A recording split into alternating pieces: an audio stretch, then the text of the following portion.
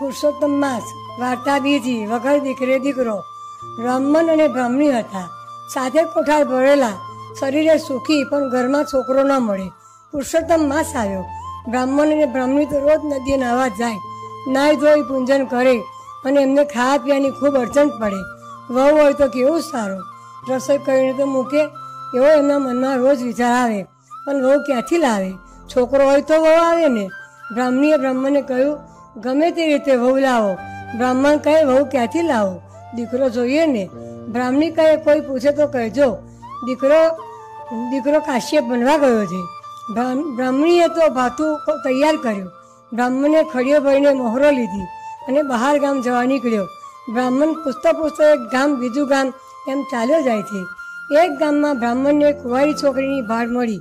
એ તો તેને ત્યાં ગયો અને કહેવા લાગ્યો મારો છોકરો કાશીએ બનવા ગયો છે. પુરુષોત્તમ માસ ઉતર્યા આવ- આવશે.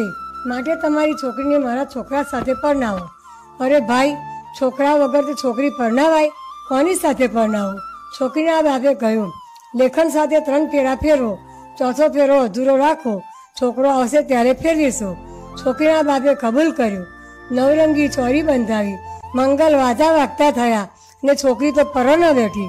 છોકરીને લેખન સાથે ત્રણ ફેરા ફેરીને પરણાવી દીધી. બ્રાહ્મણ વહુને લઈ ઘેર આવ્યો. વહુ રોજ રાધી આપે છે. બ્રાહ્મણ બ્રાહ્મણી જમી પરાવીની પૂજા કરે છે. એક દિવસ બ્રાહ્મણ બ્રાહ્મણી નદીએ નાવા ગયા. વહુ રાધા માટે પડોશનને ત્યાં દેવતામાં લેવા ગઈ. વહુએ કહ્યું, કાકી કાકી, મને દેવતા આપો ને. પડોશન બોલી, કાકી સી ને સાસુ સી. તારે વળી વરજ ક્યાં છે? તને તો છેતરીને પણ નવી લાવ્યા છે. એ તો વાંજ્યા છે.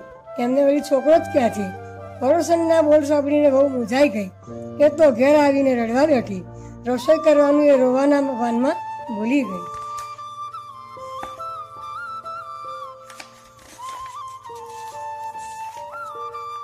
સાસુ સસરો નદીથી નાહી ધોઈ આવ્યા ને વહુને રડતી જોઈને પૂછ્યું, વહુ રડે છે કેમ? શું થયું?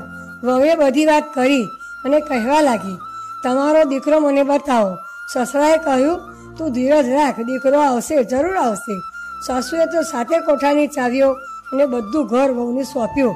સાસુને મનમાં એમ કે કંઈક કરતાં વહુનું જીવ ગોઠે. વહુ તો સાસુ સસરા નાવા ગયેલાને કોઠારો ઉઘાડ્યા. પહેલો કોઠાર ઉગાડ્યો તો અનાજનો ભરેલો. બીજો કોઠાર ઉગાડ્યો તો વાસણ કુસણનો ભરેલો. ત્રીજો કોઠાર ઉગાડ્યો તો જાત જાતના કપડાનો ભરેલો. ચોથો કોઠાર ઉગાડ્યો તો દર દાગીનાનો ભરેલો. પાંચમો કોઠાર ઉગાડ્યો તો હીરામાં ને મોતીથી ભરેલો. ને છઠ્ઠો ઝવેરાત ભરેલો. વવે તો સાતમો કઠાર ઉગાડ્યો ત્યાં તો આ શું દીવાના તેજમાં આખો ઓલો ઝગમગાટ થઈ રહ્યો. અને દીવાનાથી અજવાળે એક પુરુષોત્તમ પોથી વાંચે, કેવો પુરુષ? પીળું પીતાંબર પહેરેલું, કપાળે કેસરની હળઈ આડ કરેલી. ખભે જનોઈ, રેશમી ઉપરનું નાખેલું અને પોથી ભને. વહુને જોતા જ, વહુને જોતા જ પેલો પુરુષ બોલી ઉઠ્યો "ઓ- ઓરડો બંધ કરો, કમાડ પીડો. મારા મા બાપના વ્રત ભાગશે. પુરુષોત્તમ માસ પૂરો થયે મને બોલાવજો. હું આવીશ, તમારું ચોથું મંગળ વર્તીશ ને ફરનીશ વવે ઝટ થઈને કમાડ પીડ્યા.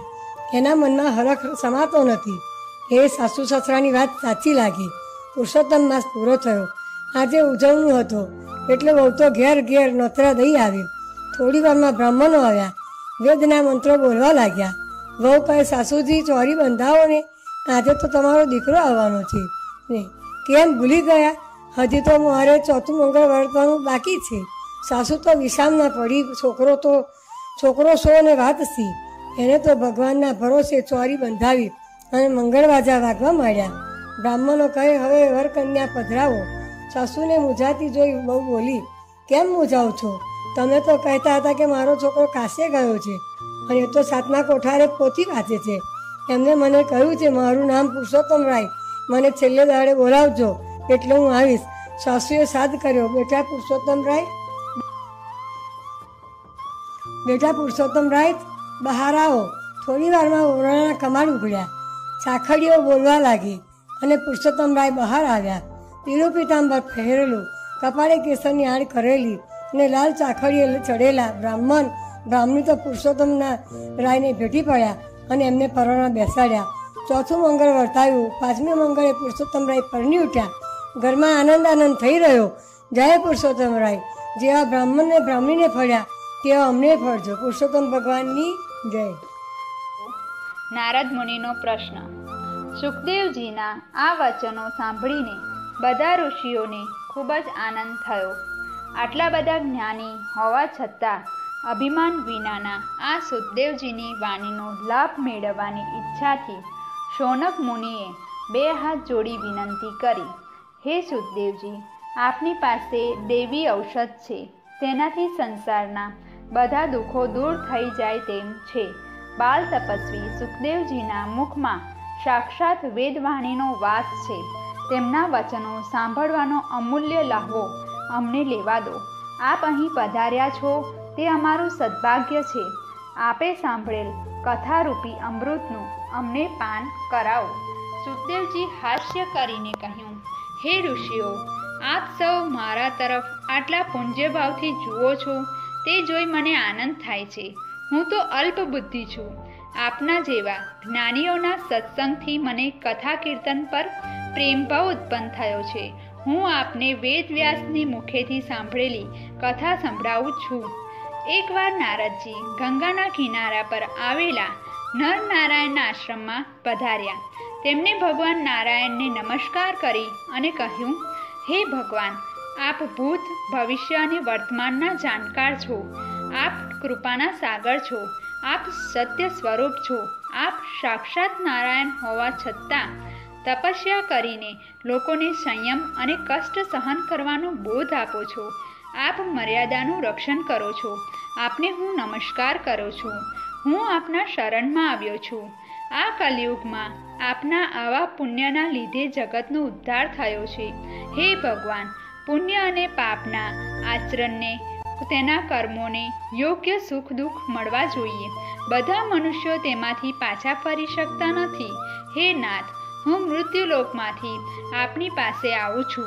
આપ મૃત્યુલોકના મનુષ્ય પર કૃપા કરી તેમનું કલ્યાણ થાય, તેઓ કોઈ સારા વ્રતનો સારાંશ કહી સંભળાવો. નારદજીનો આ પ્રશ્ન સાંભળીને ભગવાન નારાયણે સ્મિત કરતા કહ્યું, હે નારદ, તમારા જેવા પરોપકારી મહાત્માને જગતનું કલ્યાણ કરી શકે તેમ છે. વૃંદાવન વિહારી ગોપીજન વલ્લભ ભગવાન શ્રી કૃષ્ણની પવિત્ર લીલાનું શ્રવણ કરવાથી સંસાર અને આત્માના બધા દુઃખોનો નાશ થાય છે. હું તમને પુરુષોત્તમ ભગવાનની પવિત્ર કથા સંભળાવું છું. તે સાંભળો.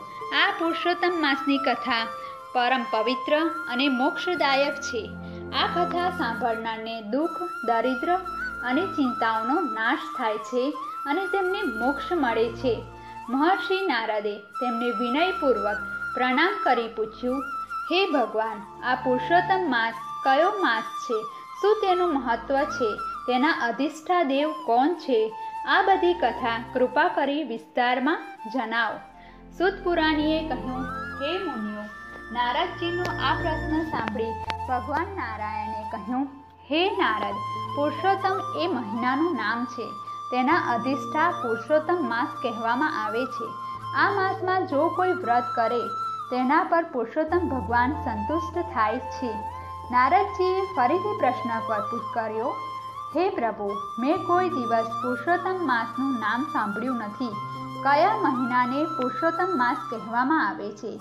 આ માસમાં વ્રત, તપ, ઉપવાસ કેવી રીતે કરવા? આ માસમાં વ્રત કરનારને શું ફળ પ્રાપ્ત થાય છે? જગતમાં દુઃખોનો પાર નથી. રોગ, દુર્બળતા બુદ્ધિનો અભાવ, મૂર્ખતા ઇત્યાદિ વધી પડ્યા છે. તેમને શાંતિ અને દુઃખ, દિલાસો મળે. તેવો સરળ ઉપાય આપ બતાવો.